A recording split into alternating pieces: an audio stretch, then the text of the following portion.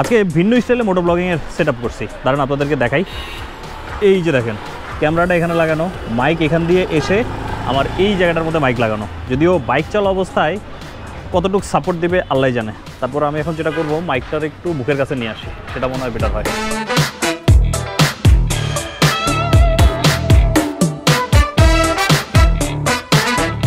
মনে হয় ব্রোজ নতুন এই মোটর ব্লগিং সেটআপে আসলে কেমন আউটকাম বের করা যাবে? ভালো আউটকাম কি আসলেই আসবে? এই সেট আপটার বড় একটা ঝামেলা হচ্ছে এটা হাফ ফেস হেলমেটের মধ্যে লাগানো হয়েছে, বাতাসটা সরাসরি মাইকের উপরে লাগে, যার কারণে উইন্ড নয়েজ আসার একটা সম্ভাবনা আছে। তারপরেও আপনারা একটু ফুটেজগুলো দেখেন মানে আপনারা নেক্সট মোটর ব্লগগুলো দেখেন, আপনারাই জাজ করেন। সো হ্যালো দার আসসালামু আলাইকুম this is Saifullah Sunny welcome to Sunnygiri hope you guys are doing fine আর এইভাবে মোটর ব্লগিং সেটআপ আগে কেউ ইউ জন্মে করছে কিনা আমার জানা নাই। তবে আমি এভাবে করতেছি, সেটার পিছনে কারণ হচ্ছে আমার যে বাকি দুই দুইটা হেলমেট আছে এইচজিসি আর হচ্ছে কেবার দুইটারই ভাইজার নষ্ট, দুইটারই ভাইজার প্লাস মেকানিজম দুইটাই নষ্ট। এটা হচ্ছে কেবারটা এটার ভাইজারও গেছে মেকানিজমও গেছে। এটা হচ্ছে এইচজিসিটা এটারও মেকানিজমও গেছে, ভাইজারও গেছে। দুইটা দামি দামি হেলমেট থাকা সত্ত্বেও বায়োমোসানি এখন গরিব। এই দুইটা হেলমেটের ভাইজার আর মেকানিজম যদি আমি ঠিক করতে যাই, বারো থেকে পনেরো হাজার টাকা খরচ হবে। তো যার কারণে ভাইজারও লাগাইতেছি না, মেকানিজমও লাগাইতেছি না।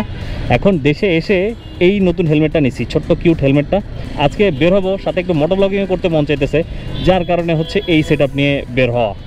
যাই হোক, কাহিনী যেটা হয়েছে আমরা যাচ্ছি হচ্ছে হাই রে প্যাঁ পু প্যাঁ পু।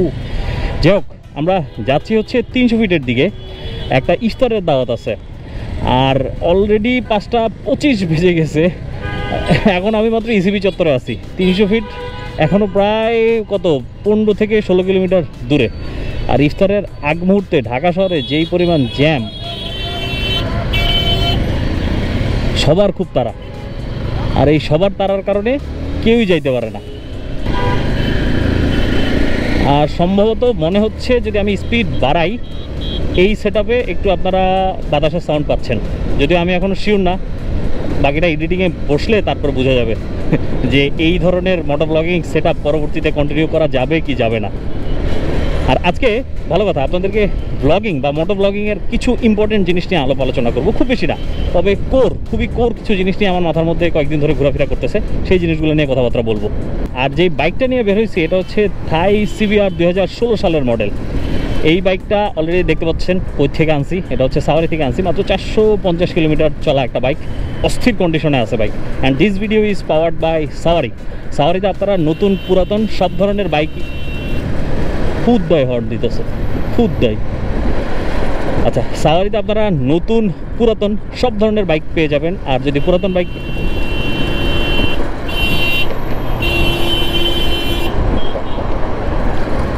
আমি একটু লুক দিতেছি। হুদয় হর্ন দিতেছে কেন?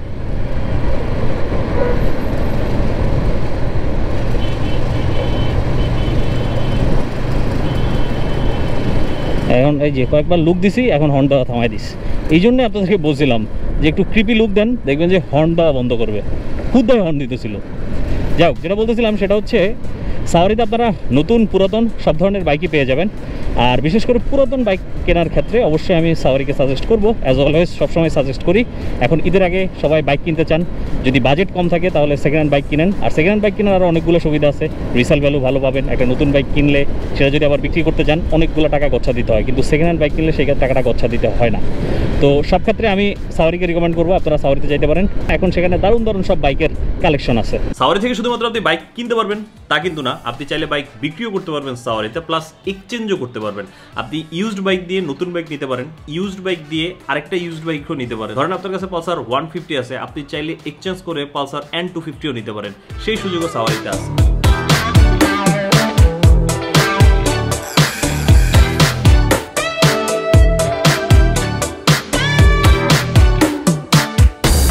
গুগল দেখে দেখে যাচ্ছি। কোন রাস্তা দিয়ে যে ঢুকাচ্ছে আল্লাহ জানে। সামনে কি রাস্তা আছে কিনা সেটাও জানি না। দেখেন গুগল দেখাইতেছে এখান থেকে রাস্তা শেষ। এই হচ্ছে রাস্তার অবস্থা যেখানে কোনো জায়গার মধ্যে বন্ধ। যদি কোনো গাড়ি টাড়ি নিয়ে আসতাম তাহলে আর এই রাস্তায় ঢোকা লাগতো না। বাইক নিয়ে আসছি দেখে এই রাস্তায় ঢোকার সাহস করতেছি। এ ওয়াসিকা! কি রে? খুঁজতে খুঁজতে জীবন শেষ হয়ে যেতেছে আমার। হ্যাঁ মানে হ্যাঁ হ্যাঁ ভাই পাইছি খারাপ। ঠিক আছে। হ্যাঁ আরে জীবন শেষ খুঁজতে খুঁজতে আমার। আমারও আমি আমি আমি তো দেখি নাই আমি তো হেলমেট পরা ছিলাম সামনে যে দাঁড়াইছে। হ্যাঁ। যাক অবশেষে লোকজন পাওয়া গেছে এখন খুঁজে পাওয়া যাবে। একবারে অন্তিম মুহূর্তে এসে পৌঁছাইলাম আমরা। কি জামাই?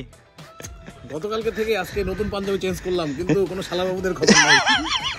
আপনি অলওয়েজ জামাই। যাক অবশেষে প্রোগ্রামে আসছি। কি স্যার? কি অবস্থা? অবস্থা খুব খারাপ। কেন? সব ভিডিও করতেছে। এ আমার ভিডিও করতেছে আমি ওদের ভিডিও করতেছি। টিপ ফর ট্যাট কোনো কিছু বাদ যাবে না। সালাম আলাইকুম। জি জি কি আজকে কিসের প্রোগ্রাম ভাই? আজকে সানিগিরির প্রোগ্রাম শেষ দেওয়ানগিরির প্রোগ্রাম শুরু। এই যে এই হচ্ছে প্রোগ্রাম দেশি বাইকারের সপ্তম বছর পূর্ণ হইল। কংগ্রাচুলেশন ব্রাদার থ্যাংক ইউ আর নেক্সট জার্নির জন্য অল দ্য বেস্ট বিদেশে ঘুরেন আমরা দেশের মধ্যে একটু বান্দরবান সাজিকে যাই আর কি। মানে ধরা গেছে নাকি কোনো যাক আজকে একটা জিনিস ভালো হয়েছে সবার মধ্যে একটা গেট টুগেদার হয়ে গেছে যে সাকিব ভাই ওয়াসে আরে আমার বন্ধু আমার বন্ধুর সাথে আমার দেখা হয় না মানে সে খুব আবেগী কমেন্ট করে আপনি রাহাত ভাইয়ের সাথে ঘুরেন না কেন আসলে আমি তো বারবার টেক্সট করে সিন করে রিপ্লাই দেন হায় হায়। রানা ভাই খবর প্রোগ্রামটা ভালো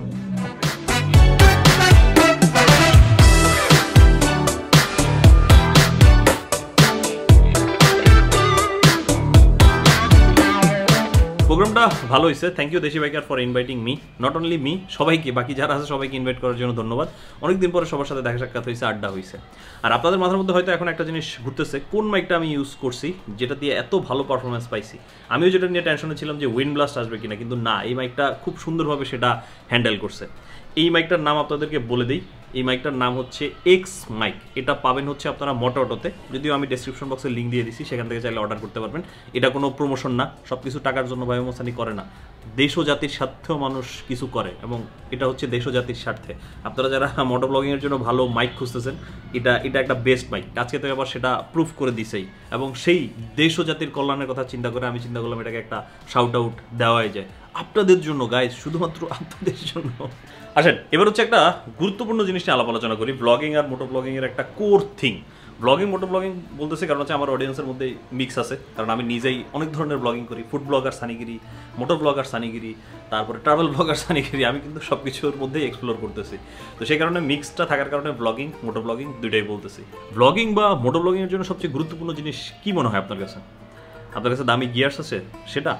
নাকি আপনি খুব ভালো এডিটিং করেন? সেটা? নাকি হচ্ছে আপনার কাছে দামি গাড়ি আছে বা বাইক আছে শো অফ করার মতো অনেক কিছু আছে সেটা?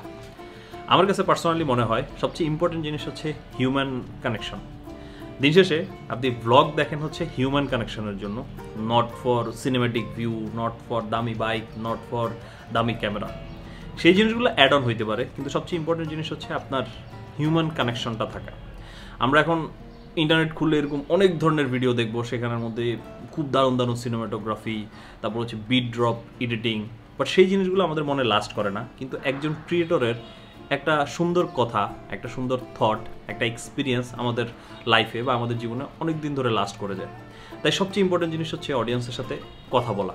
যারা আপনারা ব্লগিং করতেছেন বা করবেন সামনে বা চিন্তাভাবনা আছে, তাদের জন্য আর কি এই জিনিসটা রিয়েলাইজ করতেছি আমি কয়েকদিন ধরে। যে জিনিসটা আপনাদের সাথে শেয়ার করে রাখি। আপনি ভালো এডিটিং পারেন, সেটা একটা প্লাস পয়েন্ট আপনার কাছে দামি দামি ক্যামেরা গিয়ার্স আছে, সেটা একটা প্লাস পয়েন্ট কিন্তু মেন পয়েন্টটা হচ্ছে, আপনি আপনার অডিয়েন্সের সাথে ভালো করে কথা বলতেছেন, আপনার থটসগুলো শেয়ার করতেছেন। হইতে পারে সেই থটসগুলো কারোর সাথে নাও মিলতে পারে বাট যেই মানুষগুলো আপনার থটসগুলো পছন্দ করে, তারা আপনাকে আপন করে নেবে, তাদের সাথে আপনার একটা লং টার্ম রিলেশনশিপ হবে। আর এখন এডিটিং ভাই খুব বেসিক জিনিস হয়ে গেছে বিট ড্রপ এডিটিং একবারে নর্মাল হয়ে গেছে। প্রত্যেকটা ভিডিও খুলবেন, প্রায় same music same editing style ইনস্টাগ্রামের রিলগুলো খেয়াল করলে তো এটা দেখবেনই, একবারে সেম মিউজিকের উপর নানা ধরনের পারফরমেন্স আপনারা দেখবেন।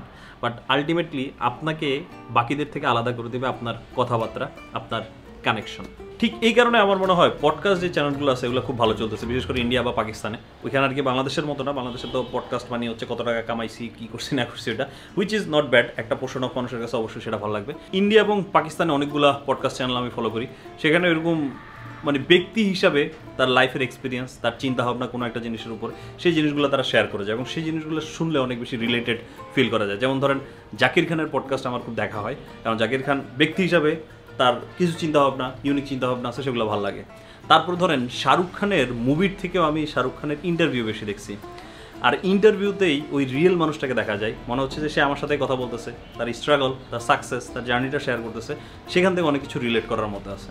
তাই এই যে কথা বলা, যেখানে হচ্ছে হিউম্যান কানেকশনটা বিল্ড আপ হয়, সেই জিনিসটা খুব important rather than editing rather than দামি ক্যামেরা রাদার দ্যান আরও অনেক কিছু। সবচেয়ে ইম্পর্টেন্ট জিনিস হচ্ছে আপনি, ব্যক্তি। ব্যক্তি কি বলতেছে? যাই হোক এটা ভাই মোসানি কয়েকদিন ধরে রিয়েলাইজ করতেছে। ছোট্ট একটা টিপস বলতে পারেন যারা আপনারা ব্লগিং বা মোটর ব্লগিং শুরু করবেন তাদের জন্য। আর আমাদের আজকের ব্লগ এখনও শেষ হয় নাই। আজকের ইফতারও বাইরে হয়েছে এবং সেরিটাও বাইরে হবে। বাজে রাত একটা। প্ল্যান তো এগারোটার সময় যাওয়ার ছিল। আমাদের আজকে ডেস্টিনেশন চাঁদপুর। বিখ্যাত ইলিশ খাব। দেখা যাক কত দূর যাইতে পারি। কি? ইলিশের সিজনে চলে আইলাম জামাই। জামা ইজ অলওয়েজ রেডি জামাই রেডি কাহিনী হইতেছে এখন একটা বাজে আর আমাদের সেহরি যদি চাঁদপুর যে আমরা করতে হয় আল্লাহ জানে কি হয় বাকিটা রাস্তা যাইতে যাইতে দেখা যাবে।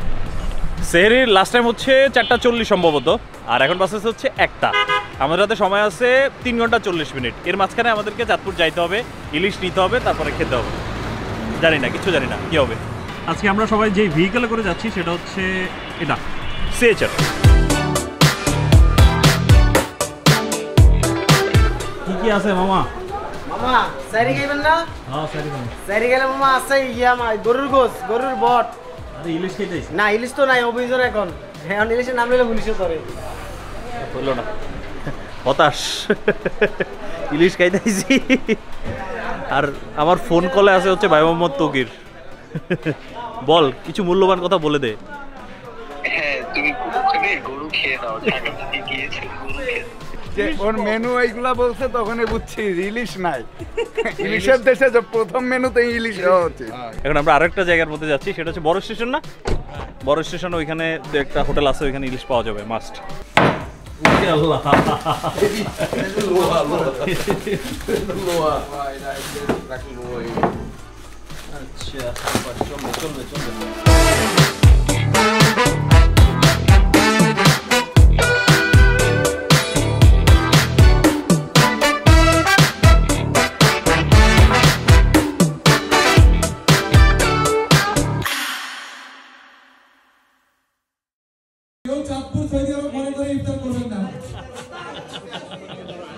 এর একটা মজার জিনিস হয়েছে সেটা হচ্ছে আজান দিছে কিন্তু কেউ ইফতার করতে পারতেছে না।